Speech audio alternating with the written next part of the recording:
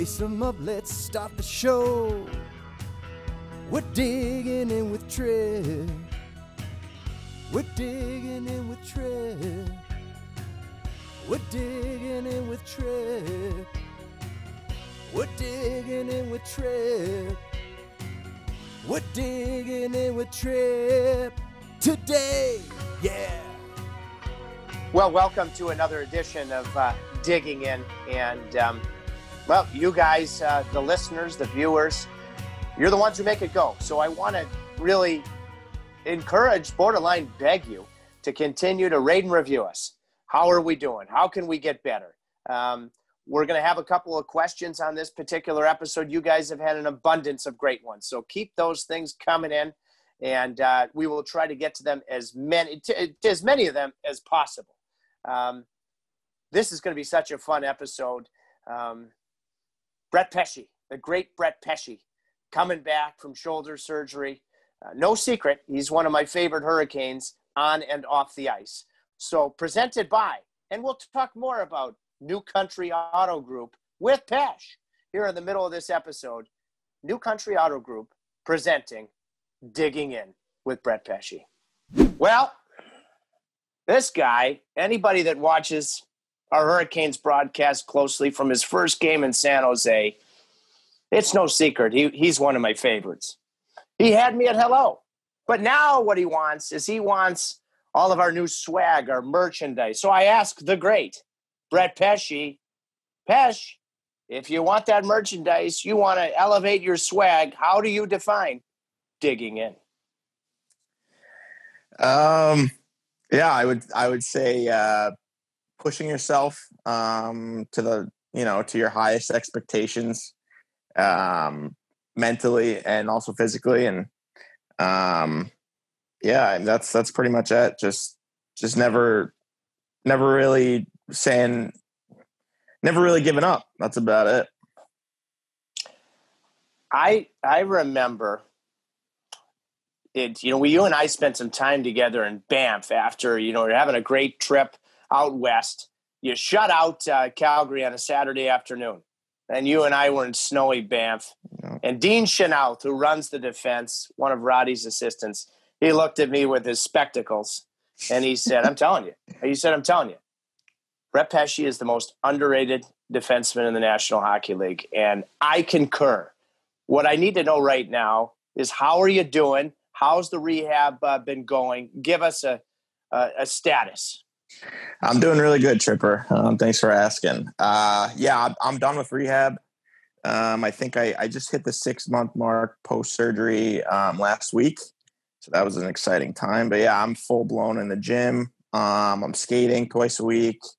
Yeah, I'm just I'm just trying to get as strong as possible and just kind of waiting to see uh, you know when what when we're going to start next year and I'm, I'm just really anxious to get going just because it's been so long for me Now that you're post rehab, what was the hardest part, right from the knife or however they did the surgery uh, to where you're at right now? yeah yeah you know what it probably i would say uh month two to three um you know when my rehab specialist kind of had to start moving my shoulder and um pretty uncomfortable ways uh just to kind of get that range of motion back that was uh pretty painful at times um but obviously i'm glad he did it because um it's it's feeling feeling better than ever You're not going to believe this, and we're not going to get into it. But I have that same problem on this shoulder right now from an angling injury. You and I, well, I don't know if you're my caliber of angler, but my elusive swordfish, I, I had to get a cortisone shot. I mean, I got no, I, I can't in certain spots. I got to, I'm going to have to get some advice from you, my brother, how I get that flexibility back. I mean, problems. yeah i Um, mean i don't want to tackle a swordfish trust me Well, that's what happens, uh, Pesh, when you, you you fish at seventeen hundred and fifty feet. I mean, Yeah. the squid we're using for bait, we got LED lights, and some people use electric reels. We don't. Okay, we dig in. Um, what you grew up a Ranger fan, you know, and then playing the Boston Bruins in the Eastern Conference Finals. I would think it was unimaginably hard to watch the boys dig in and have to do it uh, from afar. Can you tell me about that experience? Because my gosh, you were missed, my partner. Yeah, um, yeah. You know what? It, it was tough. Um, a lot, a lot, of the games, obviously, I watched, but it, you know, it, it's tough to watch. Uh, obviously, I'm I'm rooting for the boys, and um, obviously there were there was hopes that obviously we advanced. I I, I could have maybe played, but um, just to just to not not be out there. Um, I mean, through, through ups and downs, through wins and losses, it's it's a roller coaster. And and when you when you go through that, when you go through the pain and the joy together as a team, um, it makes you stronger. And, and you know that's that's one of the the best things about hockey, in my opinion. You really grow a you know a, a brotherhood um, with your teammates, and, and, you grow from it, and and they become lifelong friends, and and you know, obviously the the bubble, um, I, I, think is a one time experience. Hopefully, um, it, it, was tough for me to to sit on the sidelines, but um, it is what it is, and and I'm just looking forward to next year. You know what I'm thinking about? I'm thinking about late in regulation and overtime against Washington, a heavy team. Yeah. I mean, how seamless you were. I mean, seamless. And it, uh, that's why it's always been a pleasure to, to call your games. Now, why hockey, Pesh? Let's let's you know what let's let's go back in time. Hmm. Why did you choose hockey at what age? Yeah, you know what, my dad threw me and me and my two brothers out on the ice when we were about three years old. Um, I mean, I, I, played other sports. I played baseball, lacrosse. Um, you know, hockey was just always my passion, and I and I knew that. Um, you know, you can ask my father and my mother that they, they, when I was younger, um, I used to cry when they would try to take me off the ice. Um, so yeah, it's just it's just a love that I've had for as long as I can remember. And then you get drafted. I mean, you're from uh, you know Tarrytown, New York, but right. I mean, you played for you know some of your youth hockey in Jersey. You get you get drafted in Jersey. I mean, this is pretty darn close to the script. Mm-hmm. Did you know you were going to go to Carolina there early in the third round? No, um, you know what? I, I, had no idea to be honest. To be honest with you, I thought I was going to go to uh, to, to L.A. Um, oh, thank speaking, God you didn't go to La La. Yeah, yeah. Speaking of their scouts and stuff, um, yeah, it just seemed like they were they were probably the most interested team.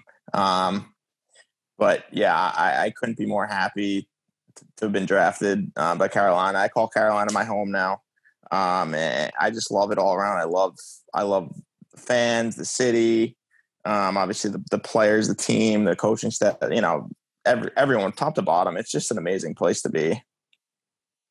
Is that you know he's got some questions for you later in the show. Speaking of you know that maybe the Kings were going to take you at that at that time, uh, a guy named JW was playing for the Kings. Have you ever told him that? I mean, is that why you put one off his face? Uh, you know, just in Florida. that was hey, not a muffin, by the way. Yeah, that's a goal for JW. I mean, the goal's a goal. You got to ask him. But uh, no, that's awesome. oh man, I want to get to that. Uh, your underrated shot in offense as, as we unfold, but we're still in the adolescent stage of life for the past now teenage years. Um, what made you I, assume you were always going college and tell me if i'm wrong on that and then why was UNH the choice? Who else was in the mix? Uh yeah i always knew i, I wanted to go to school. Um my parents my family and myself we, we were big on education. Um you know my dad's side no one no none of my relatives really went to college so um, it was important for him and my mother for me to to at least get some school years in. Obviously, I didn't expect when I was going to sign early. Um, but yeah, um, I, I loved UNH. I, I, visited when I was, I think I was 15. Um, what was I? Sophomore in high, junior in high school, and uh, I just fell in love with the campus. Um, from what the coaching staff said, it was Dick Umile at the time and Scott Borek, um, who actually took me on my tour, and um, you know they seemed like they really believed in me. And uh, you know, I was a young raw kid at the time. Um, I didn't have many other any other many other colleges kind of in the mix. I visited BU and BC, but um, UNH kind of you know seemed like they really really believed in me, and that was that was big for me as a kid. You know, hearing these you know, obviously, I, I know who Dick Umile was. He's a legendary college coach, and uh, you know, for him to kind of speak about how how he thinks how far I can go in this game, and you know, it paid dividends. Head coach, the legend Dick Umile. He he recruited me. They actually, I don't know what they were thinking, but they gave me an offer.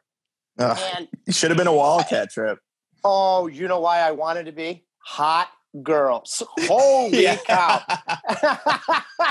and you're not so, wrong I mean, about I, that. No, and I'm going to digress for a second because you know what I think of you, but you know I think that Amy, your longtime girlfriend, is out of your league. She's a wildcat. Romeo, how did you meet her? oh man, she's gonna love this. Uh, I, you know what? I got introduced uh, by one of my my teammates uh, my freshman year. Um, we were kind of friends in the beginning, and then uh, yeah, you know, we kind of were on and off for a bit. Um, yeah, now and then we kind of got serious my last year of school. So um, she's still sticking around. She's digging in. Uh, I'm a huge in. fan. You know, you uh, the three of us, along with some others. Um, what was it? Last January, we we experienced a flight down to Miami. Yeah, and you yes, had you you had dug in the night before. Hey, listen, talk about a guy that plays with grit when needed. Who you had dropped the gloves with? Who? Mark Scheifele? yeah. Was it Scheifele? It yeah. Was Scheifele. And one of the linesmen. And one of the linesmen was yeah, sitting next to us in the plane. oh my God. And he was, I mean, he clearly he was pulling I mean, he was very he had great admiration uh, for you, Ash. And it wasn't like you. Who was it? Was Mrazek playing that night? Pietro? Yep. I mean, yep. and it was late in the game and you decided to drop the gloves. Yeah. Tell me about that. Well, if you ask Peter, he instigated it. Um, he's always out there instigating. You know, he's he's he's the kind of goal. He's he's giving shots in the back of the legs, and then the guy turns around, and then here I am in front of him, got to protect him. but uh, yeah, no, you know what? It was. I remember we were up. We were up uh, a few goals right at the end, and uh, yep. Um, he gave me a he gave me a nice whack, um, and it was like I think it was like a minute left, two minutes left, and you know it's just kind of unnecessary and yeah, I mean, I turned around and I asked him, asked him to go, and then it just kind of, you know, just kind of went flying. It was, it was fun though. I had a good time. I was, I almost came out of the booth because I mean, I knew, I, I, I knew that I was on your plane. Okay, the next day with the great Amy. All right, and Fleurs was on that bird. Yeah. Uh, Edmundson, Aho, yes. Dzingel. I mean, we all, we had a it was a, yeah. it was a riot of a flight, and the linesman. we didn't know the linesman was going to be on. That's right. And and I'm sitting there, and it was a great win. I think Willie JW had a had a heck of a game. Yeah. Um, and I'm thinking Pesh could just cruise into the All Star slash Olympic break, and you, I mean, you didn't have to do it, and you did it. That's why I almost came out of the booth. So, in a different kind of way, how would you define heavy defense, gritty defense? Because I think that's that's a part of your game that you don't necessarily think of. That's a wrinkle when need be. Mm-hmm. Yeah, I mean, uh, when I think of those words, it's not you know, I mean, it's it's not necessarily you got to go out there and fight a guy a lot, but um, you know, when the time comes and and you got to answer the bell, you do, and it's on top of that, just just being physical in front of your goalie, um, you know, boxing out around the blue paint, um, just really, it's really just goes down to just helping helping your goalie out there, and um, that's what I try to pride myself on is is you know letting Peter James kind of see as many shots as possible and just giving them the best opportunity to save the puck. Um, you know, obviously I'll block a shot if I have to, but um, at the end of the day, it, you know, it's their job to do that. And you know, obviously, if you're if you're an NHL goalie, you see a puck, ninety what ninety five percent of the time, you're gonna you're gonna mm-hmm. they're gonna save it. So that's what I try to do as a defenseman, and I and I consider that as gritty because you know you're always in a guy's face, you're always you're always getting physical with him in front of the net, and and and I think that that's huge for a defenseman these days. Yeah, and you're willing to pay the price when it comes to blocking shots too. I, I think of so many examples of that. You blocked a shot that Sunday afternoon game against uh, Edmonton, and I was really fearful because you know you, you left the ice bleeding, you came back, finished the game. Hey, was that? I think that was right before the mom's trip. So was Alicia? Yeah. Was she was she in the stands during all of that? No, thank God she wasn't. She she was actually coming to meet us the day after, I believe. Um, so yeah, I think I, I think she would have been balling. what what how would you because I I've been very fortunate to get to know both of your parents quite well. Of course, one of your two brothers, Bradley, who should be running for I think he should be in debates right now running for the Oval Office. Um, if you were to tell me the part of both of your parents that you're most proud of and that's part of you, what would you say? Um, my father, I, I would, I would definitely say his, uh, his loyalty. I mean, you know, he, he would just, I mean, he just, he would do anything for us. And, um, he, you know, anything we needed growing up, he, he's there. And, um, you know, he he taught us some some valuable lessons growing up, and and so it wasn't all easy, right? Like you know, if we got in trouble, you know, we're getting we're getting grounded, and but you know, he he did a good job of of telling us why we were grounded, um, and and kind of just made us a better person. It kind of showed us showed me what was right and wrong. Um, and my mother, eh, she's just so kind. Um, she's got she's got the biggest heart I know, and you know, she, she's another one. She just she does anything for her kids and and she's just so nice to everyone and um you know I, it takes a special person to be like that you know? I think she has grit too and i'll tell you a story. I was uh oh yeah i was uh, i was doing a bench interview at uh i would think as fun of a rink as because you grew up a ranger fan at madison square garden so then i've got to get up to the booth uh, with all their renovations so i usually just walk through the lower bowl and she and your grandmother during warm-ups you know they were four or five rows up i almost missed um, you know my my later segment in the pregame show because I, I feel in some ways that I'm a, I'm an honorary Pesce, and we sat there and we were passionate. I mean passionate, talking about things. And so I yes, I think she does have a lot of grit. And I think with regards to camaraderie on the mom's trip, I think she proved in Nashville that uh, and in previous mom's trips that that she's a centerpiece. Yeah, she she she talks to anyone. You know, she's the type of girl you gotta, you know, you gotta just gotta walk away because she'll she'll talk to you all day. I almost missed the game. Yeah. Um, and and I mentioned your brother Bradley, one of two brothers. Yeah. He had me at hello. It was an interview he did at Barclays Center. You were playing the Islanders. I remember. And I swear, I mean, you want to talk about a guy that has the gift of gab, but with substance. What's the age difference there? I mean, who's who? Because he acts like he is the mentor. I mean, he said, I think in Nashville or what? No, it wasn't Nashville. It was in the Florida Dallas dad trip. So he came and he talked about how proud he is of you. How yeah. proud? Like, I mean, has he has he taken you under his wing his entire career?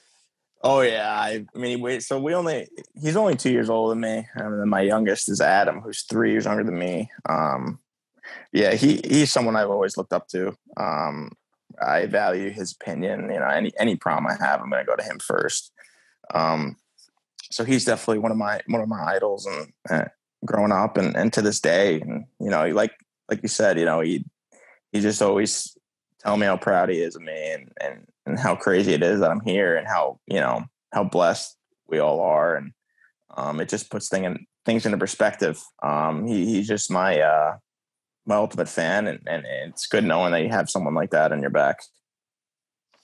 Great answer that requires uh, elaboration and another wrinkle. What are both your bros doing right now? So they're working. Uh, they're actually working together. They're trying to. Uh, they're starting their own business. It is a uh, streaming streaming designs. Um, so right now it's for gamers um, I don't know if you're familiar with Twitch and, and those gaming uh, apps that you, you, stream stream on, but um, right now they're starting with that, and then they're going to ultimately try to grow it to any kind of businesses that they want. Um, yeah, it's going well for them. They're making some good money. They're actually living with me right now. Um, I have a little apartment in my town, um, and Amy's here as well. So we got a full house, but uh, they're doing well. Everyone's happy and, and staying safe, and that's the most important thing. Yeah, I'll make sure our producer, Adam the Admiral Holtzman, uh, that we give a big time shout out. Uh, Admiral, are you there? Can you do that uh, for the, the Pesce brothers and uh, their their endeavor? Hundred percent, buddy. that's what I like. To, that's what I like to hear. You see how prompt that was? No hesitation. Yes, Pesh. Okay. Who was your favorite roommate, college, pro? And the person that's asking this question says there's only one answer. Yep. TVR. uh, Trevor, uh, I mean, he's one, you know, we had a pretty close group at UNH. Um, Trevor, I was roommates with him, and um, yeah, he, him, and the, a guy named Colin McDonald, who's I consider one of my best buddies as well. Um, yeah, I'll go. With, I'll go with Trev. He's he's one of my one of my best buddies to, this day, and um, it's awesome that uh, that he's been around with Carolina, and I'm hope hopefully he's back. Um, yeah, he's just a, he's just a great all around guy, and he's one of the best best around for sure. I totally agree with that. And all the boys, including the great TVR, as we tape, are digging in somewhere on a golf course in Boston, I believe. And this question comes from them. oh, God. What, what was the story before practice with the dairy bar at the lunch hour before prep. I mean, what does this mean? oh my god, it's actually really funny. Um, no, so Dairy Bar was just a uh, it was just like a little restaurant. Uh, it was like a little deli, so to speak, uh, right right right next to the Whittemore Center, which is obviously the name of the UNH rink. Um, but yeah, pretty much before every practice, I would I would go in, and you know, I was a kid at the time. I, I eat different now, but I would usually order, uh, you know, two grilled cheeses with bacon or or a turkey club. Yeah, yeah. I mean, look, I was hungry and and Dairy Bar was my spot. I think if you ask anyone who I went to school with, they would say that. And you know, um, I was on first name basis with all the uh, you know the people working. Um, yeah, that that's pretty much it. That's the story. How far be how, long before practice would you have your grilled cheese and oh god that sounds good oh uh, how long good. before practice at the dairy bar um, you know, right after class. Um, it changed every semester just because, yeah, obviously even new classes, but sometimes it'd be, you know, 45 minutes and I'm rushing. I had to go to Dairy Bar though, you know, I, I needed my, I needed my fuel and I needed my grilled cheese. yeah, but you didn't, you know, especially you load up with a grilled cheese and bacon. You never had any lower GI distress in the middle of practice where you had to say, Hey, Coach Umile, I got to get out of here for a minute. you know what? it happened to Roberto Luongo. you know what I did, but like you say, you got to dig in, and I got to grind you, through it. Yeah, you have to do it. have to do it. And I shouldn't say this, but I'm going to give you this pearl. A friend of mine who used to be a Michigan State football player, God rest his soul, his name was Mike White and he once gave me an unbelievable pearl, Pesh, and I'll mention it and we'll move on. He said, Tripp, never, and I mean never, trust a fart. that, that's words of wisdom right there, huh? yeah. Yep. Okay, so if you take one thing from digging in, never, never trust, trust a, fart. a fart. Got it. Okay, but but you trusted yourself after three years um, can you um, tell me where you were at the council and the ultimate decision to leave UNH and uh, begin your pro career? Yeah, you know what? I I was just in my room. Um, that was honestly was maybe the hardest decision I've ever had um, to make in my life. Like I, I loved school so much. Um, you know, I had my buddies there, obviously, like my my lifelong friends now, and um, you know, I, I had, I had Amy there, and um, I, I just loved it. Um, I loved everything about UNH, and um, but you know what? I'm, I'm glad I made my decision because I, I I thought I was ready um, to leave, and and I was excited to, to, to become pro because I thought you know I, I, think I could ultimately play in the National Hockey League, and and why wait a year when I can kind of jump in and, and prove myself for myself now. So um, yeah, that was the decision. I remember speaking to you, Millie, which was which was a tough conversation for sure. Um, but he's such a good guy. He was so happy for me. You know, he shook my hand and obviously said, "I'm rooting for you." And, and I remember he remember telling you earlier, he's like, "You know, I told you how far you're going to go, and it, it's not going to be soon before you you're in the National Hockey League." And, and that's a pretty that was a pretty cool moment. Um, I'll still always remember it to this day Did you? What number did you wear at UNH? Twenty-two. Why twenty-two? And why? T- you know, it's a great number, but why for the great Pesh? Um, you know what? My my father just wore twenty-two growing up. Um, uh, and you know, my my brothers wore it. We all we all just wore it. Um, and it just kind of now it's just kind of a family number. So um, it, it's uh, it feels weird not wearing it. Great story. Shame on me if I've never asked you that question before. It's sort of my job. Um, um, so I now, but I uh, usually I say I say I have an, a memory like an elephant. Maybe I think it's just at times. So I remember you come in for some playoff games in in Charlotte. Yep. Um, and then the next year, a guy uh, named a right shot like you, James Wisniewski, goes down knee injury. I want to say first shift in our first game in Nashville.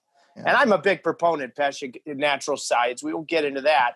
So it wasn't more than a few games after that. Wisniewski was tough for him. James is a good guy. That he was he was he was he was done. He was out for a long time. It was a Saturday night in San Jose. San Jose was an elite team in the league, and you jumped in and played marvelously. I marvelously. Can, were you nervous at all? I mean, because that was a tough opponent, tough building to break mm-hmm. into the league. Yeah, um, I was I was nervous for sure. Um, and to be honest, I don't get nervous too often. Um, that was that was one of the more nervous, uh, nerve wracking times I've been through. But you know, it, it, was fun though. It's you're excited and you got the jitters, and um, I'll never forget seeing. Uh, you know, it, it kind of just felt like a blur, and then you're seeing Joe Thornton out there zipping the puck around on the power play, and you're like, wow, like this is this is real. Like you're in this. Um, so yeah, that, that that's a cool moment. Obviously, I'll, I'll never forget it. So. And I believe then we came here to my hometown of Detroit. Detroit, yeah. And that was your second game because the owner, majority owner at the time was Pete Karmanos. And Pete Karmanos came up to me, Hockey Hall of Famer, and he said, Whoa, this Pesh. Because he had watched the game in San Jose. By the time you got to Detroit, were the nerves gone? And, and did you know that without question it had been validated that you could be a difference maker in the National Hockey League? Uh yeah, not not yet. To be honest, I think I was still running on adrenaline. Um, you know, the next the next night I played Datsyuk, or so I'm just like, wow, this is this is pretty crazy. But no, I you know what though, I, the second game I, I kind of was actually getting a little more comfortable, and I was like, you know what, hmm, like maybe I can kind of hold my own in this league and and keep up with these these legends. So um, yeah, it, it was it, it, was a cool feeling. But yeah, it didn't take long too long to get acclimated. If you had to pick three guys, okay, I I'm guessing they'll probably be forwards, but they could be a defenseman who likes to jump into the rush. You just mentioned uh, Jumbo Joe and Pavel Datsyuk, the magician, that have been the hardest to be able to defend from then until now. Who would those three be? That's a good question. Um, I, yeah, I try to ask good questions. That's a good question, Trev. You're a smart guy, so I expect that question out of you. Um, you know what? I, I will probably go with uh, Nathan MacKinnon, who's obviously a, a special player. Um, Sidney Crosby, and uh, you know Patrice Bergeron, or not Bergeron, uh, Brad Marchand. He's he's he's tough for sure. Okay, let's start uh, from the top. Uniquely, why is MacKinnon? Why does he reach your final three?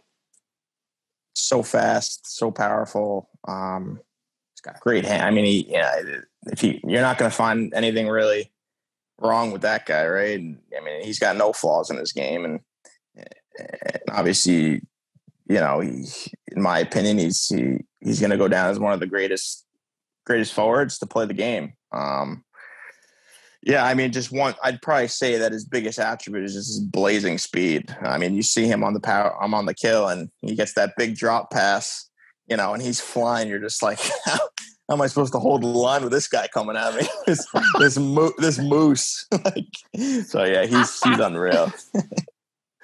You know what? I just had because obviously he plays in Colorado. I just had some friends that unsuccessfully were trying to hunt moose in Colorado, and and now I'm thinking to myself, thank God when he's coming at you with all that speed, you're not fresh off of grilled cheese and bacon from the dairy bar. no, no, no, no. I changed my diet. Trust me. what about uh, what about Sidney? Yeah, he. Uh, you're probably not going to find better a guy with better edge work in the league. Um, so him, him, is more just just him in the corners, um, his cutbacks, and and the way I don't think anyone anyone you know controls the puck like he does, and he's just so strong on his skates. It's you know when he when he's buzzing down there in the corner, he, I don't. It's almost like you're not going to take the puck away, but you kind of just have to keep him to the outside. Um, so yeah, he he he's obviously arguably the greatest player to ever play the game, um, one of them at least. So yeah, he speaks. You know, his name speaks for itself. And by the way, uh, since you're well on your way to getting some of that dig in swag, the hats he has had a hand in the design. Sydney oh, has. Really? he enjoys his hat, so I figured I'd I'd reach out and I'd reach out and you know ask him, you know, what do you think? He seems to really like the darker colors. So uh, you know, he's had a hand in it along with uh, the great Briley Brind'Amour, uh, like your brothers involved in design. So you're well on your way to receiving those on the house as Exciting. one of our favorite guests. What about speaking of a guy that probably won't receive any of that swag, although I have the same admiration for his game, Marchand. Why is this guy good? AKA Toucan Sam. uh, no, he's you know he's just he's another guy. He's so strong on his skates, and I think his biggest the the hardest thing about him to defend is, is you know he's just so slippery and he's so shifty and um, he's he's so he's got that long stick too. You know, he, I, he he's so good at pickpocketing guys, and you always got to be aware. And he's just hard. He's just hard to tame. And, and I've had I think I've personally had some trouble with him in the past. And um, you know, it's just you kind of sometimes you just got to tip your hat. And and he's yeah. one of those guys where I just tip my hat to, to be honest. Who I, I mean, I know that Marchand does. Um, would you say you're a guy. Can you deliver a good one liner on the ice during a game, uh, during your shift from the bench? Do you typically stay away from it? And and who would be the best chirper on the Hurricanes roster right now? Oh, that's a good question. You know, I I, I stay away from it pretty much, um, just because I'm I'm not that witty. So I'll probably lose in one of those little chirp battles. But uh, huh, who's the best chirper? Um, it's actually a really good question, Tripp. I, I, I always hear I always hear Dzingel giving little jabs to guys. I'd say I'd, I'd go with him. He's he's pretty funny out there. Who are some of the best in the league? Oof. Um, yeah, I mean Marchand's obviously up there. He's always running his mouth. Um, another guy uh, who is uh, he's on Philly. You know, Travis Konecny. He's kind of a uh, he's kind of a little chirper out there. I think he, I think it was this time, uh, or what was it? We played whatever it was last year. Obviously, I played with Jake Gardiner a good amount, and he called him a uh, called him a space cadet because he's got that big helmet and the yeah. and the massive head. All up to Jake, but he, everyone knows he's got a big head. Um, so yeah, that, I was we got a we both got a nice chuckle after that in between periods. You know what? The Great Guards does have a little bit of that headgear that would scream what one small step for man, one giant step for mankind. He's got that astronaut look. yes, he does. Speak, speaking of those days, you know, not when not when the great Neil Armstrong, Big Caniac walked on the moon, but uh, who was your favorite? Uh, was it a Ranger, your favorite player? Was it a defenseman? I know the Rangers were your favorite team. Who were your favorite? Who was your favorite player or players growing up? Yeah, I I liked uh, yeah, obviously I grew up a big Ranger fan, so um, I like Brian Leetch a lot. And then obviously when I when I got a little older, when the Rangers were going on those cup runs, I, I loved watching uh, Ryan McDonagh play. Um, obviously he's not that much older than me, but um, he he's just so steady and and and I kind of try to model my game after after the way he plays. So so yeah. Have you ever had a chance to get to know uh, Ryan McDonagh? Because you, now you're one of his peer, one of uh, his peers. He's readying himself possibly for the Stanley Cup Finals, one went away. Yeah, um, no, I actually I haven't met him. Heard good things about him. Um, just respect. I just respect the way he plays, and and and uh, you know, I feel like a lot of those guys don't get as much uh, as much credit as I think they should. So. Are you watching, um, you know, whether it be Dallas uh, emerging uh, against uh, Vegas or the Islanders in Tampa at 3 2? Are you watching hockey closely right now? Um, uh, you know, not too closely, to be honest. Uh, uh, it's kind of tough when, you know, yeah. um, your team's out. And I, mean, I didn't even play in this year, and, and it's still tough to watch. Um, but yeah, I'll, I'll turn it on for a period, but that, that's about it. Yeah, I, I, I tend to be, I get it because I was right there as your broadcaster, right in the trenches with you right. when you you went to the Eastern Conference Finals. Um, okay, we're going to take. I've got to find this here. Uh, just an intermission, but it's going to be a live intermission, and we are going to give a big shout out to our presenting sponsor, New Country Auto Group, and Pash.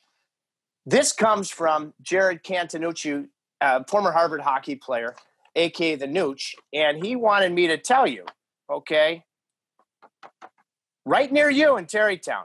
He's got an Audi in Hawthorne, five minutes away. He's got a Porsche and an mm. Audi in Greenwich, 15 minutes away. He's got the Wide World Ferrari BMW, 20 minutes away. Toyota oh. Lexus West Point, 30 minutes away. Why aren't you digging in at New Country Auto Group? And if you did, which one of those vehicle brands do you think you'd go with? Oh, wow. some cool cars. Um, what Porsche did you say? Uh, you say Porsche? Got, well, Oh yeah, you got Porsche in there. The Porsche is uh, that's in Greenwich, 15 minutes away. Yeah, New Country Auto Group. I, I, like the I like Porsches, so I, I guess I go with that. Why could you see yourself in that type of sled? 22 in a Porsche. I just think they're you know eh, it's just a very well respected car. Any of them, it's uh, they're they're all they're all kind of beasts. And uh, you know, just when you hear Porsche, you know, you, you know you're getting uh, the cream of the crop. And I can tell you this, Pesh, as uh, we move on to the second half of our episode, if you ever elect to get a Porsche from New Country Auto Group, they're the finest group in the country. You ever have a problem, they'll dig in with you. They make every customer feel like uh, that customer is a number one. They'll make 22, the great Pesh, feel like he is number one. So that's something to think about. Let that marinate, and uh, yes, I will. You might have to dig in with New Country, my friend. Potentially, yeah, right up the street. Yeah, yep, right up the street.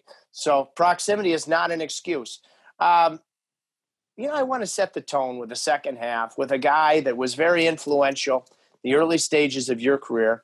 He was always my one of my favorites because he could give it out, but he could take it to the great Ron. Let's oh. let's talk about Ron dig in with Ron. oh man, what a uh, what a guy! Uh, probably my, if not my favorite, one of one of my all time favorite guys I've played with so far. Growing up from even from you know minor midget to to pros, he's he's one of a kind. I think you can agree. Uh, anyone that knows Ron, he's one of the funniest guys I know, and um, you know, but most importantly, he's a hell of a hockey player. Um, yes he is as steady as they come. And he still is. He's what 38 now, 38, 39, and man, he, he's he's just unbelievable out there. Still, he's I mean, he's, he still he skates great. He's just he, you know he, he's always it seems like he's always one step ahead of the game of the play um, defensively, and I think that's why you know he's been in the league for so many years. We just talked about you sliding into a Porsche. I believe Ronnie Hainsey is a Porsche guy. I know he has that in his collection. Um, yeah. How did he help you? Let's just pick one thing in terms of the mechanics of playing defense on the ice, and then if if there was one thing, whether it be your mind, preparation, confidence off the ice. So pick, you know, on the ice, off the ice, Ronnie Hainsey. On the ice, um, just your your gap control. Um, he was so good at, at at swallowing plays before they could even happen. Um, and just watching him, obviously in my uh, my first few years in the league, um, I just found that so crucial because you know you break up plays when when you know it could potentially lead to to a to an odd man rush or wh- whatever it may be, but um, just giving just being in guys' faces and, and giving them no time and space just just is obviously I think that might be the number one um, thing to do for an NHL defenseman in a positive way. Um, and then off the ice, you know, I think he just kind of told me. I remember talking to my first year, and uh, obviously, I'd never played 82 games or more. You know, I think I played around 70 or something that year. Um, but yeah, I mean, he told me, you know, you're going to get tired. Um, it's normal. You're not used to this, but um, just just try and just try and take take it day by day. Um, and and just just work with that. Obviously, you know, you can get a little overwhelmed your first few years with how long the season is, how many games you play, how many practices, whatever. Um, if you just take it day by day, I've kind of learned that it, just kind of settles you down and, and, and, just try to enjoy it. And that's the number one thing I try to do during the year when times get tough. Just, you know, take a step back and just realize where you are and what league you're playing in. And, and you know, it, it usually kind of settles me down. You know, this is why I say that he could give it out, but he could take it too. Early Western Canadian trip, and you guys, oh my God, you couldn't hold a third period lead to save your lives. And so Ronnie Hainsey, eh, eh, Ronnie Hainsey's getting off the plane. I'm waiting for all the boys to get off. And he comes by and he looks at the top of my dome. He says, Wow, Tripp, what are you doing? You getting highlights? Are you lightening the and I mean, I'm ticked off about these leads. and I turned to him and I said, Ronnie, I said, Ronnie, why don't you worry about holding a third period lead? And then we'll talk about my follicles. And I mean, I've I'd see I've seen some players over the years that you know what they would have been in hibernation for the next few weeks. Next day, one day at a time, no problem with Ronnie Hainsey. No, that's what I like. I like that. Yeah, yeah, he's a legend. I'll say that he is a true legend. And when he got traded to Pittsburgh, you know, because I used to hear the undercurrent of people would say, I think Ron Hainsey had the most regular season games played in the league without playing a playoff game. And, and I'm like, are, are, you people watching the game closely? How well this guy's, how good he is? And he goes in, he was a critical piece. Oh, yeah. Pittsburgh winning the Stanley Cup. I was so happy for him, truly, because I really have it. I have all the time in the world for Ron Hainsey. Yeah. Yeah, I, I, I truly do. Um, Steve Smith, who was running the defense back then, what role did did he? What influence uh, early in your career? Uh, he he was a good coach uh, for sure. He, he, taught me a lot. Um, he really, you know, taught me kind of not how to play defense, but he he, would, he always gave me good tips um, on just how to defend and make it making it a bit easier on myself. Um, I, I, think the one, the biggest thing that I learned from him is um, how critical boxing out is. Um, he was big on that, and, and you know, in college, I, I, never really, to be honest, I never really did it. I never even thought about doing it. I, I would always just kind of maybe just try and get in front of the forward and, and blocking it or whatever it may be. But um, as you know, you get older, you learn things, and you, you're obviously with the best of the best in terms of coaches. Um, so yeah, I think boxing out was was something that you know he taught me, and I'll take away that obviously for the rest of my career and and try to only get better each year. Guy you have right now. So you beat Brock scores the double overtime goal, and we stay in Washington. You guys had grabbed a bite to eat. Oh, that was a great bus ride. One of the buses broke oh, down, yeah. so we were all on yeah. one. Uh, right. Uh, we went to our new our new hotel. Dean Chynoweth running your D. Um, assistant coach to Roddy. He calls me, says, You want to come to my room? You know, I was late. And I said, Yeah. You know what? So I walk in, there he is in his bathrobe, you know, a couple of drinks, watch the game back. And he's in the robe. He's still got the sun or the his specs on. And he's like, look at these shifts from Pesh. Seamless, seamless, seamless. uh, Dean Chynoweth, talk about his role. Because I'm a big fan of Dean's. Yeah. Yeah. Me too. Um, I think I don't think there's a guy in that locker room who's not a big fan of him, to be honest. Especially the D.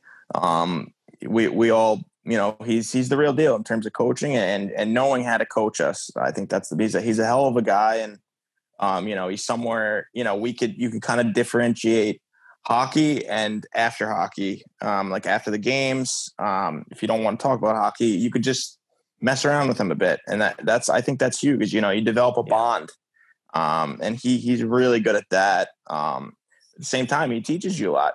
Um, if you if you want to go in and and, and watch your clips over and have you know have him show you stuff that he's his door's always open um, and, and, that's that's huge for obviously um, guys like me. I, I, personally I do like watching some film, not too much, but when I want to, um, you know, if I feel like I have a tough game or whatever, I'm going to him and and he's going to be helping me out with anything he can, and and and that goes a long way for for a player to have a coach um, who kind of knows knows he has your back and and and has your best interest in hand. When when you look at what was perhaps lacking in the culture, coaching culture, and what is there. I, I just want you to more more or less because you can make the same point. Talk about Dean. Let's talk about Rod. Of course, Jeff Daniels. I was lucky enough to have a captain when I played in the American Hockey League. How have they changed things? Maybe on the ice, in the locker room, the intangibles, in all the the right ways as a staff.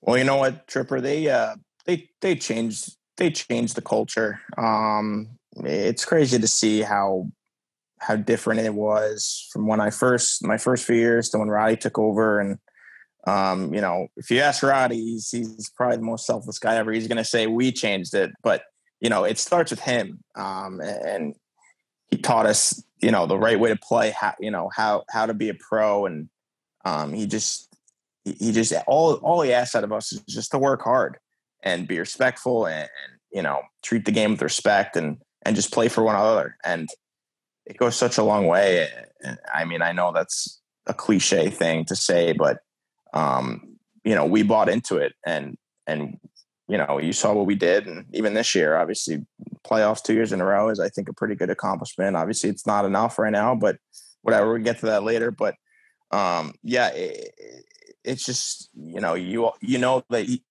you'd run a you run through a wall for that guy because you know he would do it for you. And if you listen to any of his interviews um, after games, he he'll never blame it on him on us. He's always going to take the blame for himself. And when you hear a coach, he's not like you know he's not out there. He's coaching us. He's just trying to give us tips to to win a game. It's it goes far. You know, it's unbelievable. I I haven't heard another coach um, kind of be like that and and it's just uh you know i truly do feel blessed that that he's on you know my side and he's our coach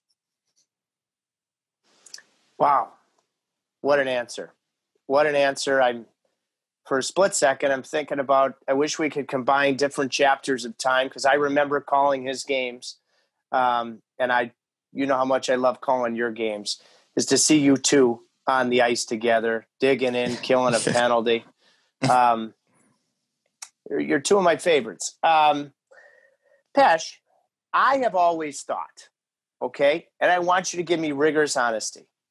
I, I still would call you the most underrated defenseman in the league, whether this wrinkle elevates or not. But I think with your tools, the way you gallop up the ice, I think you gallop. Um, I don't think your shot's a muffin, even though you think it is. Uh, ask Will, ask Willie, ask Willie's face. Um, yeah do, do you do you think in the right way because i think all the tools are there that your offensive production contribution can continue to grow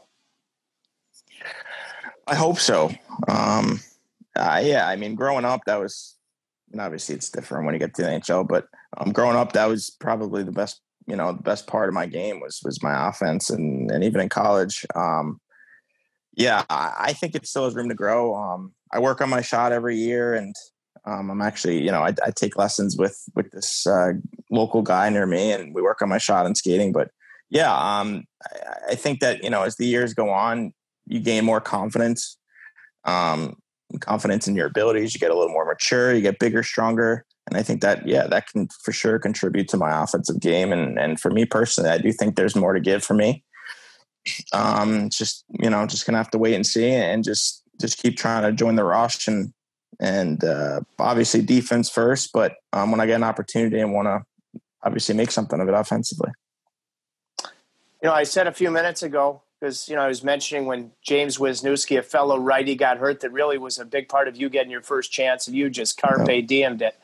But you have, and I, I talked about how much I like natural sides, but you have excelled not just on the right side, but playing with Justin Faulk for a long period of time, playing as a righty on the left side. So, if you were to make the argument to me, because you are for me the perfect guy to ask, how in all three zones did you acclimate playing on your offside?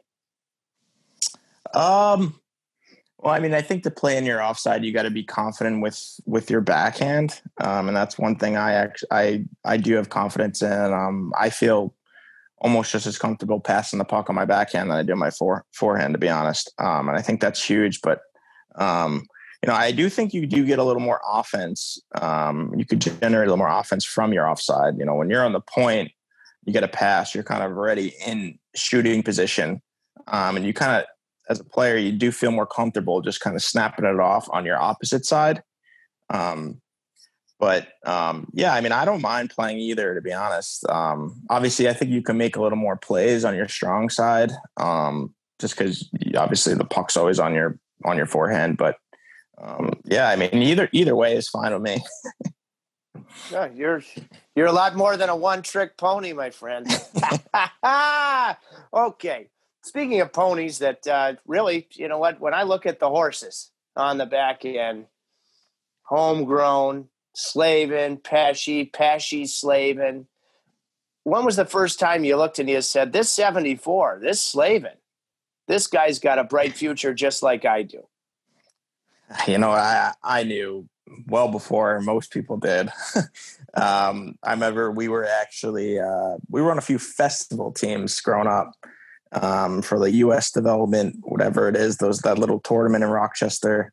Um, and I remember actually seeing him there, and I was like, "Wow, this this guy's pretty good." And then played him in college a few times, and he was his team wasn't very good, but you know he he was just stood out, and you know he didn't belong there. He was he was unbelievable, and it, it wasn't a surprise to me how well his first training camp went um, where he was scoring, you know, just excelling, and and I knew it was only a matter of time he'd be he'd be in the NHL and and and being a top tier defender in the entire league. Moving up front, can you remember any little story on the ice, on the bench, or maybe in the locker room? Who knows? Maybe on the bus that you could share with uh, with me that represents what a competitor Sebastian Aho is. Oh God. I mean, I yeah. I mean, there's not one time. It's. uh I mean, just just playing cards with him on the plane. Um, he's he's so intense, uh, you know, and he's not one to be very, you know, too too emotional. Um, but um, you could tell that he, you know, if he's losing in cards, he's he's he's not happy, and uh, it goes it goes in anything he does. Um, obviously, hockey starting with number one. He's he, he's the biggest critic on himself, I, I think, and um, you know, I, he's just such a competitor, and I think that's what that's why he's such an elite player in the league, and he's only getting better. Um, I, the sky's the limit for that kid, and um, it's awesome to know that he, he's on your team. So, yeah. You know, I'm going to see later on today I'm going to see uh, the man that has taken the word brother to another uh, level or 10, Andre. Andre? Oh. He, I'm going to see, I'm going to see Spatch because uh, he's here in Detroit with yep. his brother training already. He's training at 5.30 in the morning every day. Um, oh tell me the little things and the big things that, that make this guy, uh, uh, you know, already a star and he could be just mm-hmm. scratching the surface. Oh yeah, that's that's the thing. He's only scratching the surface. He's he's already a star. He's I mean he's another one. The sky's the limit for that kid. Just so big, so strong, um, and I think the biggest attribute he has is work ethic. Um, you know, majority of games we have a home game. He's if he doesn't like the way, even if he did like the way he played, he's shooting pucks. He's working out. Um, you can't. He's a kid. You can't even. You can't get him out of the rink. Um, and being such a young kid and having that mindset and and just wanting to be the best so bad and um, it, it's awesome to see and, and on top of it he's he's one of the nicest kids I know and he and and he's just he, he's loved by everybody and it, it's awesome another guy to have him on your side he's loved by everybody, but he has no problem chirping the opponent. No. I mean, at least that's my observation. Yeah. No, he's Yeah. he's as chippy as them come. He's physical. I mean, he he truly does it all. He really does. I, I mean, I'm I've been considering uh, going and joining those 5:30 a.m. workouts because I made a promise that I'd get as chiseled as Rod. You know, Yeah. Rod is just killing all of us at 50 years mm-hmm. old with that little Yeah. pose. For those Yeah. watching on YouTube at that Toronto Outdoor Stadium. I mean, if I dig in for those 5:30 workouts with Fetch, I'll be there in no time. Don't you? Do you are you betting on me, Pesh? Tripper, I'm I'm I'll put all my marbles on you, man. I, I I'll always bet on you, Tripper. Okay. So Svetch, although like you, I thought the mahi mahi that I saw him catch on Instagram was certainly on certainly on the tinier side. Let's just say that. Okay. You, your new vessel, is it correct that it's called Game Changer? yes. okay. The Slavs, that came from Slavs. And I saw you, but was it? It wasn't on game. Was it on a previous dinghy that you caught that little uh, minnow of a shark that I saw that I rip you about all the time? No, I caught I, I caught the minnow on, on the game changer. Okay, I, you name it Game Changer because I have to tell you, I I like call. No, you know what? it wasn't my. uh it, it just came from the previous owner, and I was I was gonna change it. Um, I haven't thought thought about some, but you know, and then I realized like you know, this kind of is, it's kind of a funny name and it, it's kind of catchy, and, and everyone seems to like it. So I was like, you know, I'll just roll with it too. dude, and I never call anybody dude. Okay, if anybody needs to watch hockey and recognize when 22, when Pesce's in the lineup, what a game changer he is. Yeah, you got to keep the vessel name that. It's perfect. All right, because I've seen the lineup with you, I've seen the lineup without you. And don't let this go to your melon, but you're a game changer. Thank you, Chip. Hey, by the way, when you when you got hurt, Dave Ayres night, previous dig in guest, the great Dave Ayres. I mean, you're hurt, ended your season, unfortunately. What did you do for the rest of the? day? Were you able to appreciate what the heck was going on, even though you were you were done for the night? Oh yeah, I mean, I obviously it was it was tough um, for me mentally, but no, I, I was watching the game in the in the that little lounge they got in the guest room, and oh man, it was. I remember I was watching with the Dzingel, um, Billy Bill Burniston, and Doug Bennett, or not Doug Bennett, and uh, the goalie coach, our goalie coach Muzz. Um, it, it was just we were all just just eating it up. It was awesome. I mean, we all knew that that's a once in a lifetime thing, and and I couldn't be happier for the guy. He's such a nice guy Yeah. um, to have him go through something like that is special, and obviously that's going to change that. That's going to change his life. They're doing a movie about it. I know that. They're doing yeah, a movie. Yeah, It's crazy. he was. Uh, yeah, he was a big time digging in guest. They're going through it all. I'm trying to think. He said, um, "What's his name? Mark Wahlberg might play him." No Ryan way. Reynolds, Mark Wahlberg, yeah, and I and then I mentioned because he said Tripp, you know, you were broadcasting the game, you might get in there, and I, you know, I didn't say this with any type of arrogance, but I thought maybe you know Brad Pitt might be a good uh, fit, you know, to play I, the, the color analyst. I, I see the similarities there with you, with you and Brad Pitt. yep, we're both legends of the fall. Yes, Um, sir. uh, Pesh, if you could on Game Changer, um, first of all, this again comes from Slavs. How far are you going out into the ocean, and what would be, whether it be a sport fish, eating fish, you know, what would be your top three of what you'd like to come back to the dock with on Game Changer?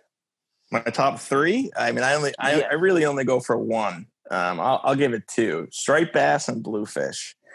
Um, and during the summers, so I have my boat on the Hudson River. Um, so it's about 45 minute ride down to the city. So to get the stripers, you go down to the city, um, past this uh, the bridge called the Verrazano Bridge, and you hit the ocean.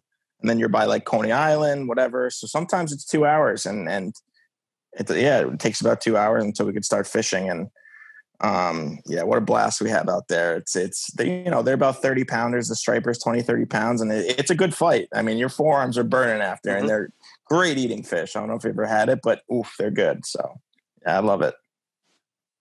I'm going to have to come out. What are you using for bait? We use uh, live bunker. Okay.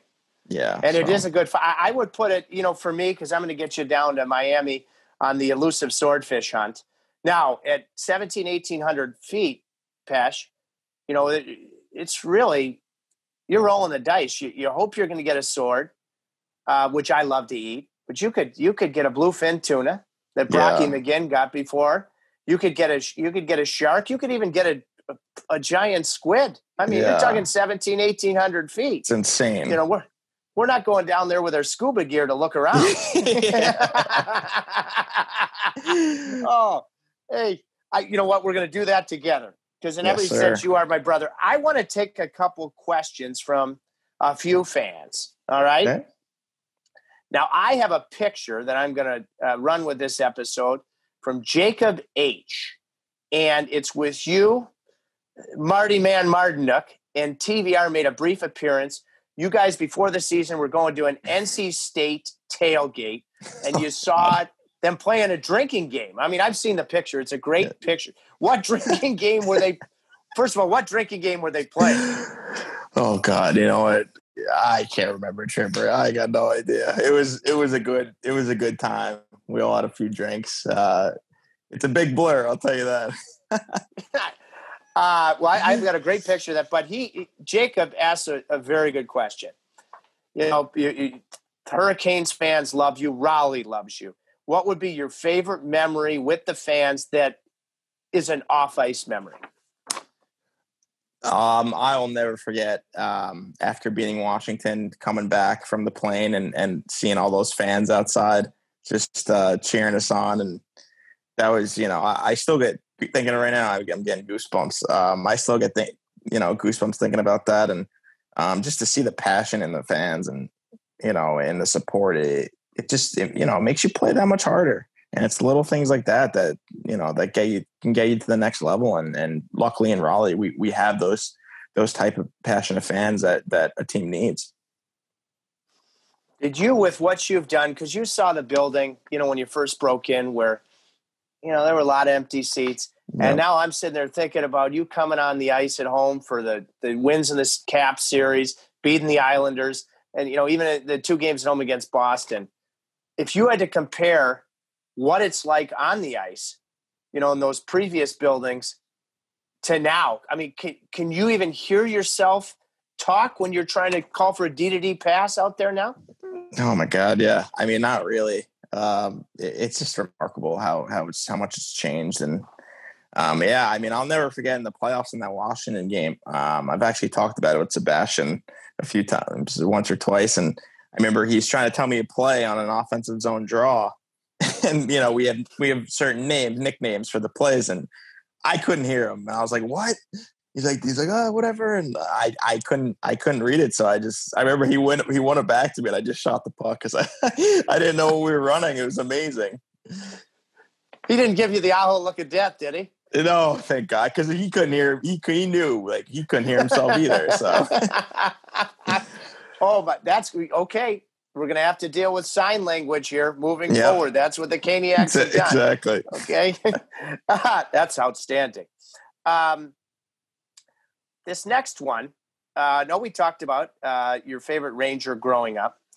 Uh, this comes from Caitlin Clark, who's a big fan of yours, as, is she a big fan of TVR. Um, we know what a great hockey player you are. What is something you're terrible at? I'm not a good basketball player. Um, I mean, as much as I want to be, you know, we get to shoot hoops when the NC State, you know, when they got the the gym out there and we get to kind of go and mess around and shoot hoops. I'm not good. I'm just not, and it's something I wish I was good at. But hey, it is what it is. I wasn't meant to play basketball. So if you were to if you were to be tapped to deliver the goods on that uh, great NCAA tournament surge, TVR Duncan, would that have caused some nerves for the great Pesh? Oh yeah, I probably would have missed. Oh, that's fantastic. Okay, and so I'm going to give Caitlin a bonus question. What is your go-to pregame meal? Because are you part of this um, Jade Future Fleury? Congratulations to Hayden and Yeah. Jade. They've been become engaged. Uh, boy, I'm a big fan of Jade's. Do you Yeah. go to? Uh, is she cooking your pregame meal these days at, for home games? Yeah, you know what? She uh before I got hurt, obviously, um, she was cooking for me, Trevor, and uh, and Hayden. Obviously, we would go over after our skate, and and she'd cook up gluten free uh, pasta um, with a bunch of greens and, and this really good uh, like chicken parm. It was like chicken cutlet. It was oh man, she's a really good cook. I got to give it to her. I got to give a shout out to Jade for cooking an awesome pregame meal. But um, yeah, just I try to just carbo load. I, I eat a ton of pasta. Um, we kind of have a a method. It's a it's, you know me on the road. It's me, Jacob, Jordo, even Willie and Trevor. Um, you know, eat till you puke, and uh, we stuff ourselves. we stuff ourselves so uh, so much that you know you're not you know you're not doing a good job until you feel you're gonna puke. So. Well, you must really hit the can before your pregame nap. Oh, uh, yes, speaking sir. of pregame naps, do you at home and on the road, like in a, in a playoff game, you know, you're you're a cool as a cu- cucumber kind of guy in my observation and estimation. Do you typically does it vary whether or not you get a good nap in before the game? What's you know like how much do you get? Um, usually, I usually sleep for like an hour to an hour and a half, and it's pretty standard. Um, you know, sometimes I don't sleep, but I'll just have an extra cup of coffee, so uh, it's not the end of the world. Have you ever had? And I could tell you about a dream I had day of Game Seven uh, in Washington. Have you ever had a particularly memorable or freaky dream during one of your pregame naps? Uh, um, no, not that I can remember. To be honest, I don't really remember my dreams. I mean, everyone everyone tells me you, you dream every time, but I don't. I'm not really one to remember them. So I got to tell you this. So my mom, who just walked in off camera, she came in. She's a good luck charm for you guys in the Yes, playoffs. so she came in the night before Game Seven, Washington. We went out had a nice dinner. All right. So I elected. Uh, my prep was done, and so I elected to take a nap early in the afternoon. Oh, I mean, I slept. I mean, like a baby, and I had a dream. You know, you know, I was like, oh man, the Canes are down, and Aho scores a shorthanded goal, and you come back and Oh win. wow! Oh yeah! No way! so that so that night on TV, John Forslund goes the opening comment. You know, at the top of the open of the show, he goes, "Hey Tripp, what do you think?" And I'm like, "Well, I'll tell you what." The, the Canes got. I just had a dream this afternoon, and the thing is, you know, I, I think that represents getting to a point. You mentioned that you were nervous your first game against San Jose ten years ago in a game seven. I never would have said that. I would have thought you can't say that, but now I just let it fly. yeah. You know, and, and and I and I think that that's probably, and I think it only comes with experience. That's the best way to go. Yeah. It's classic. What a dream. What a dream coming to fruition. Um, let's get another one here, pal. Uh, uh, let's see if I've got anything. Um, oh, this comes from uh, ho- this great hockey name, Howie Handorf. All right, he has. He said, "Now your rehab is done, but what would you say have been other than you're an angling expert? How have you kept busy?" other than you know obviously what you've done with your rehabbing and now being in the gym getting ready Um, yeah. Um, obviously the gym, whatever. Um, the the biggest thing I, I I'm always on the boat whenever I can when it's nice out. Um, I play some video games, just watch TV. Um, but yeah, my my my main thing is is going on the boat in the summers, and that's that's kind of I keep busy.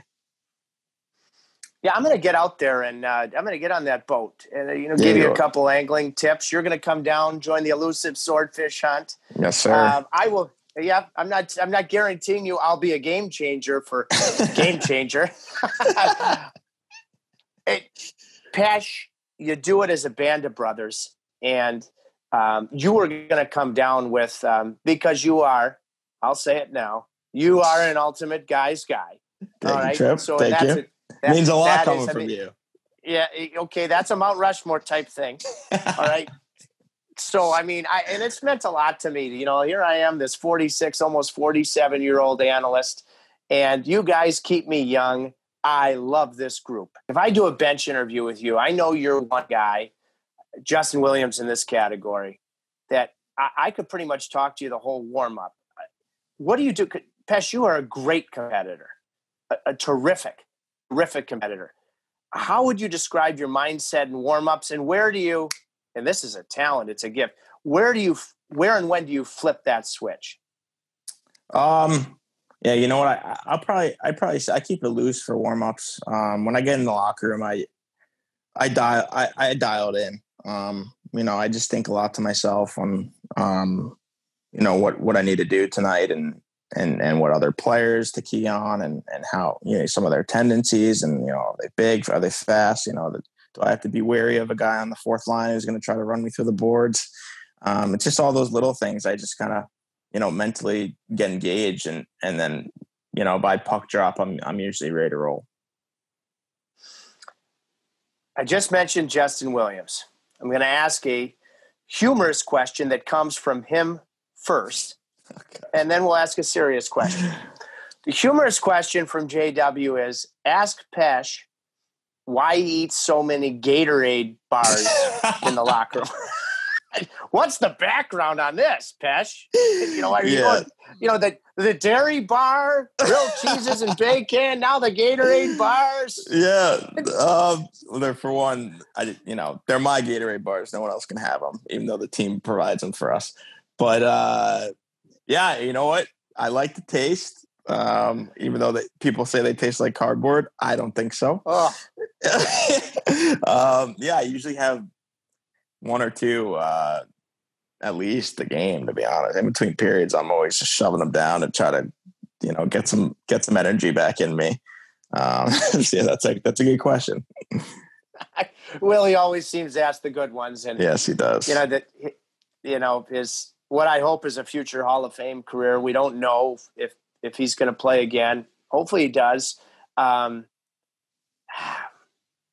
Justin Williams, how has he influenced your career the most? Um, why is he a lifelong friend? Um, why is there only one, and will always be only one Justin Williams? Yeah, I mean, I I could go. I could spend all day you know, talking about how great he is um, on the ice. But you know, what what gets me is just the type of guy he is. Um, he's taught me so much, to be honest with you. Just just seeing, I mean, just observing what he does and, and how he prepares himself. It, it's just it's not it's remarkable to be honest. And he taught me personally, you know, that being average isn't okay, and and you're not allowed. You know, you're tired, tough. Like we play a lot of games it's not an excuse to you know to to not be your best every night and um, that that's something that I think that you know he he taught all of us. Um, I think we you know it's not okay to be okay. Um, and and before Justin came in, I think we kind of did think it was okay, and you know we were subpar team, and you know I remember if we lost, it's like, eh, whatever is what it is, but um, now it's when we lose, it's okay. What happened? Like, why did we lose? That this is not okay. We need to turn it around. And it started with him. Um, he's just such a good hockey player, just such a good guy. Um, he's one of my all-time favorite guys I've I've ever played with, and yeah, I, I do consider him a lifelong friend.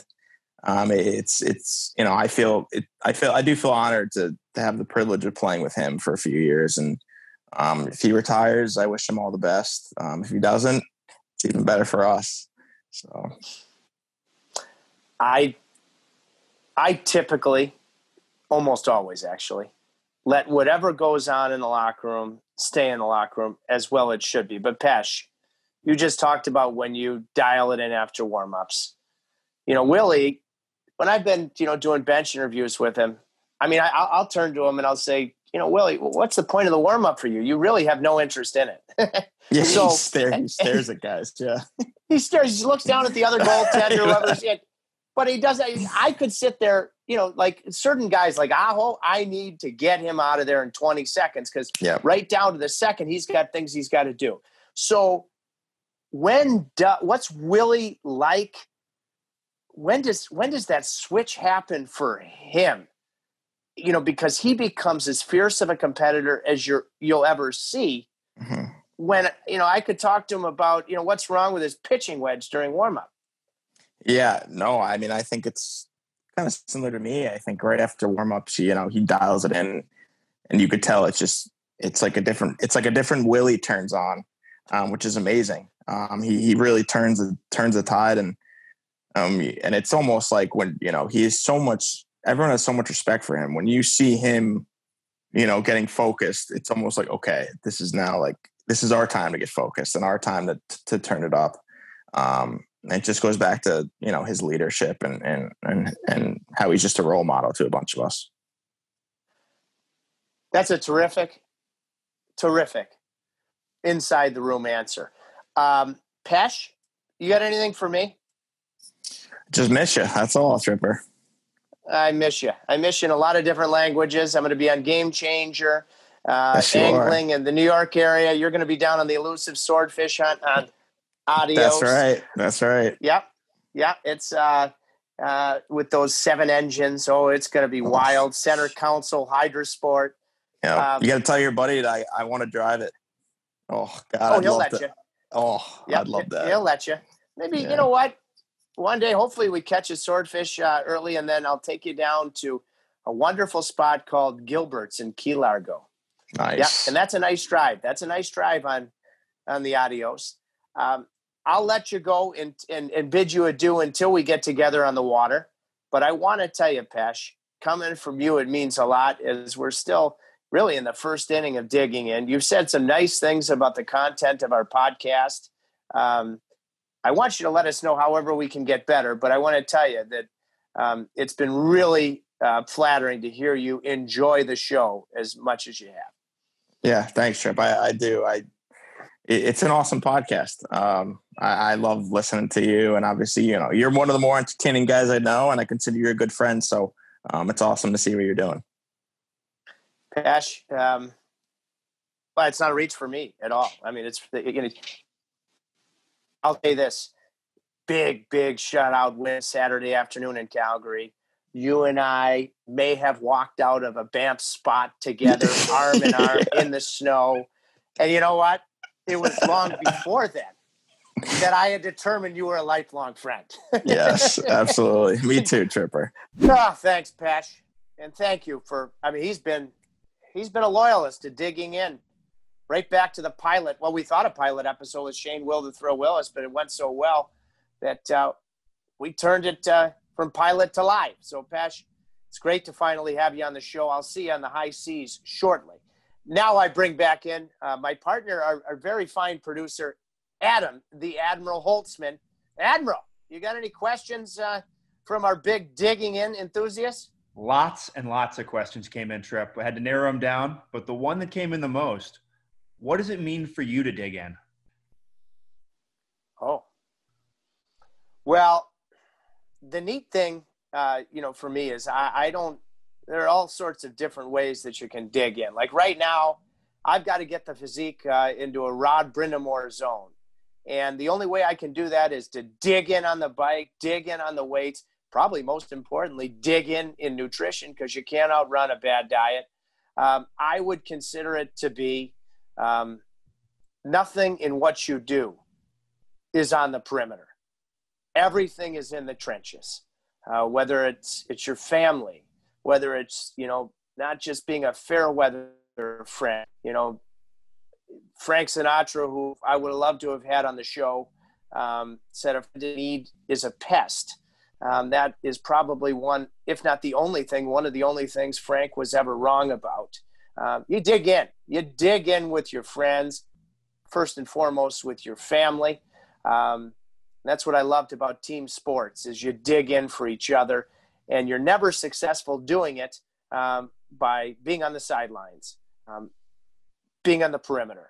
Um, preparation is a big part of it because you can't execute if you're not uh, the finest version of yourself. Rod Brind'Amour talked about that uh, when he dug in. You can't be a passenger and dig in. Life's an action program.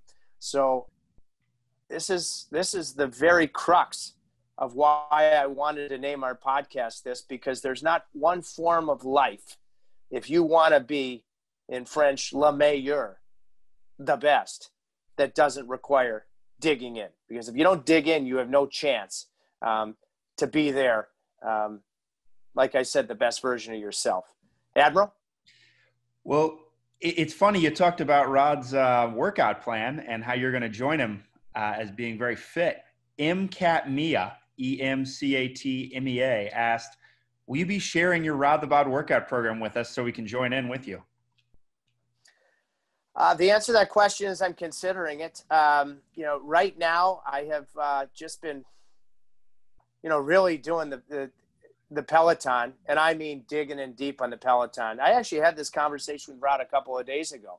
The bike is so hard because if you're competitive, there's no such thing as a joyride. My bike in Raleigh is a Precor. You can sort of loaf that thing if I'm watching a hockey game. You can't do it on the Peloton. Uh, I would be happy to figure out a way with you, Admiral, to, to share those. Um, I do weights here at the house as well. Again, you know, I know that uh, I've been connected with Taco Bell.